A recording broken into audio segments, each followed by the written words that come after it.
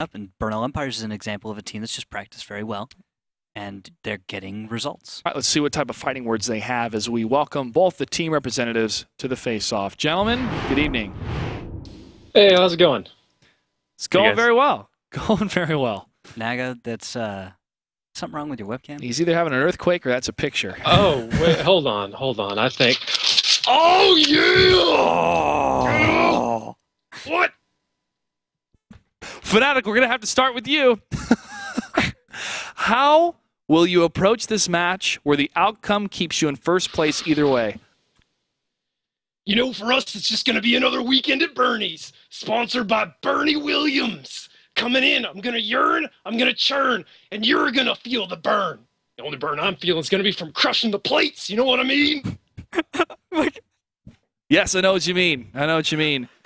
Let's check in with Burnell Empires. We'll come back to you, Fnatic. Burnell Empires, have you been have you been preparing for this match since the first week of the season?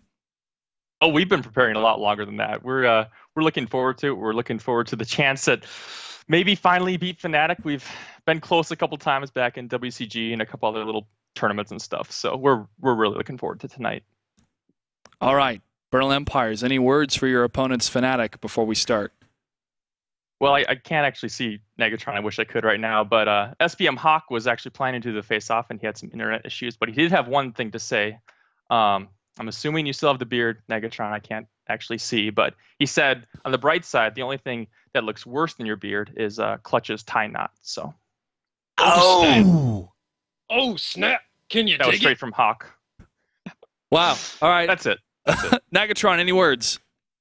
Well, good luck to you as usual. I guess if we're going to be hating on the casters, let's go to Rookill. Oh, yeah? Ruse rules? Helping the enemy? Well, rules are made to be broken, and your neck can be broken. All right, gentlemen. Best of luck. Well done. Well done, Negatron. We'll see you on the battlefield. I'm out. Thanks.